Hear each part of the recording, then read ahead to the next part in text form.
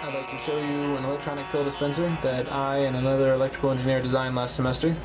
Um, I'm going to show you the design, the circuit board, and then we'll actually show you the system working.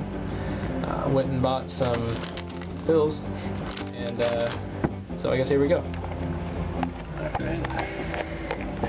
So here's the whole system.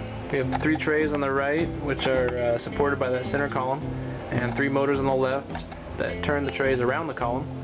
And We can see I've already filled up the trays in each little divider. You have a different pill, and as the trays are turned by the motors, the pills fall down that window in the center column. You can see there's a window in each one.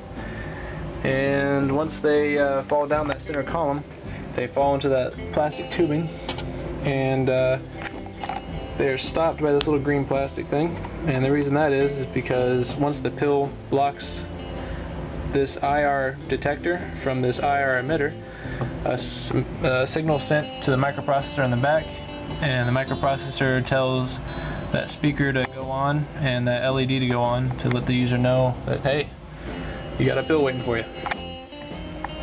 Once the user comes by, they can lift this plastic divider and the pills fall down in this final uh, container.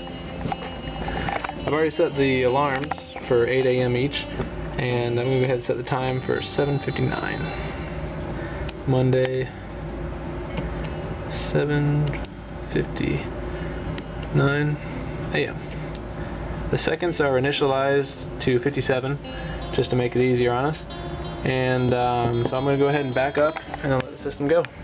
So 3 is going to start the time. There we go. We should see the middle one go off first. See the little buzzer going off and the LED in the back. I just pick that up. And back up and get another one going.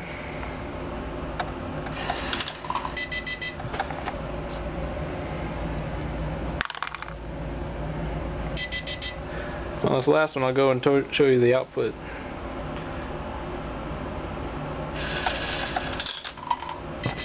So we can see speakers going off, you have a little LED right there. And if you leave this pill here, it's just going to keep beeping at you. So there's a little pill right there.